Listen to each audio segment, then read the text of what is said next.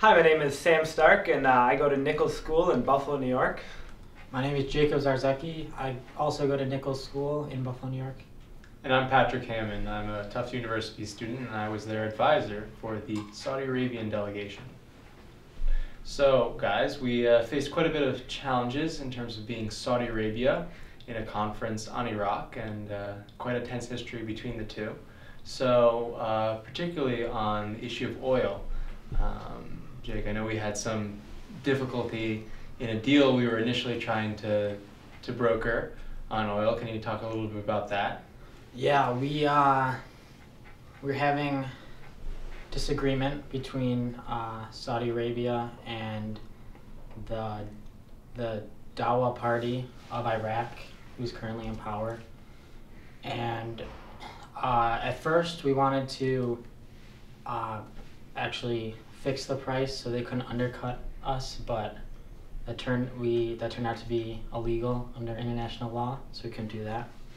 Um, and then we and then under we made a proposition for water cleaning and that which also had an oil component and I'd say about at this time I, I stepped in and uh, joined uh, Jake in the uh, in his conference, which is the resources conference, and uh, and there was it was pretty chaotic. I'd say probably epitomizing what the UN actually uh, would would be at this time, and I noticed that you know even though we might not believe this in real life, you're taking the perspective of Saudi Arabia, and we had to be a firm stance. We didn't want Iraq undercutting our oil our oil uh, supply, and they were saying uh, what we thought were two uh, unrealistic and idealistic demands, and we tried to uh, get other nations such as the United States uh,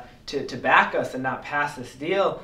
And as you'll find, people can change their minds, as the United States did, and they eventually they passed this deal that had Iraq trading. Um, uh, oil, uh, which will help the Iraqi economy with the um, United States for uh, United States giving technology for clean water.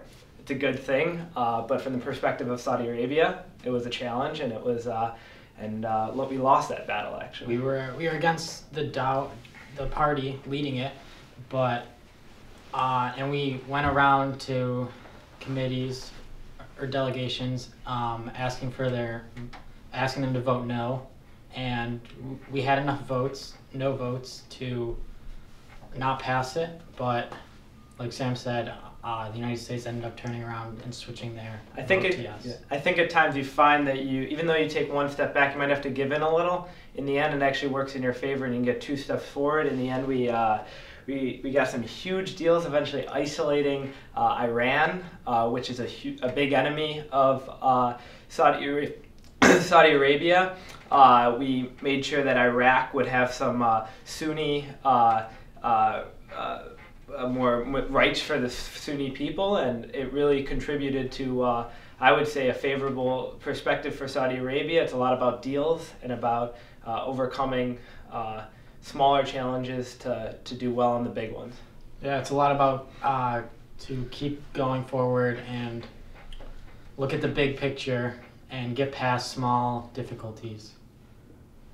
So definitely, uh, I think we saw that when we met as a, as a delegation and trying to advise you guys on what to do in each of these sort of deals was difficult. Um, how was uh, how was getting new information while in uh, committee and, and sort of having to adjust uh, on the fly to emerging uh, crises like uh, Iran pulling out of nuclear negotiations? Well, many times there were game changers, like when Iran first said that they were going to provide yeah. weapons to Iraq that we actually had passed a, the water cleaning bill right before, and then that we got that information, and everyone wanted to pull out, so it changed everything. Yeah, as uh, being being Saudi Arabia, you you sometimes uh, you sometimes see that uh, although you're in a favorable position, you know, because you have a lot of money, it's not always. Uh, not always everybody agrees with you, and with Iraq and Iran both having uh, uh, a Shia majority in their populations, they seem to get a connection. But we knew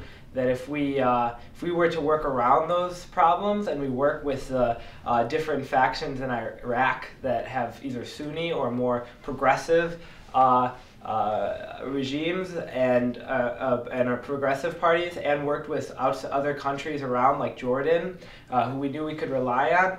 Uh, we were able to eventually isolate Iran, and through giving money to a faction in in Iraq, the the Iraqi. Um, Iraqi Accord Front? Accord Front, yeah, we gave them $50 million and they uh, provided infrastructure for Sunni refugees. Uh, and that made a lot of Middle Eastern uh, uh countries very uh, uh, happy, and it eventually led to a very favorable deal, I would say, for, for, for Saudi Arabia. And by the end, I think we got past a lot of our differences, yeah. and we actually gave more money to uh, develop their infrastructure exactly throughout the country. And that isn't to say that I have to say it's a brutal. There, it's not just people. I think tend to oversimplify the Middle East.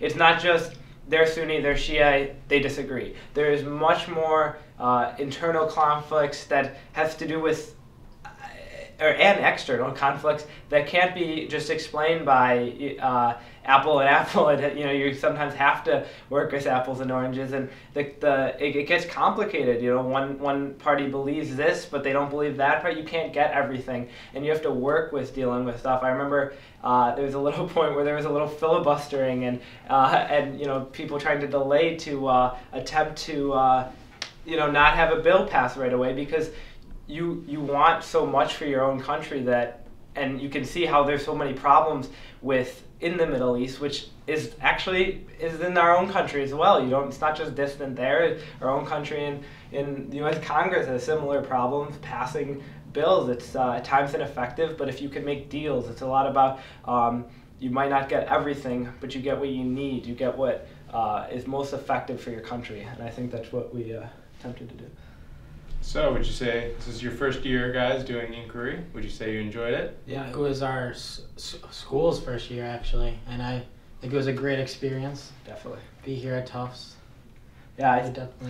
I think definitely go on for years to come. Yeah, Tufts is lucky to have uh, such a great, uh, maybe not lucky, maybe they earned it, but uh, to have such a great uh, foreign uh, policy program. I know the Fletcher is a well-known uh, program, but people uh, like all of our mentors and that have helped us along the way. They they really uh, inspire us. We had a little pause in the action for about 10 minutes, and I, I was able to ask you know all these different questions, and you guys you, you answered every single one of my questions, even the questions that you know I thought were kind of weird and where people wouldn't exactly get because uh, I have different perspectives from my own home. Uh, they gave me a new insight, and I realized, oh, I'm not I'm not always right about. Uh, uh, what I what I perceive, or maybe it's not just a right and wrong. Maybe it's just a different perspective that I learned, and I think that's valuable.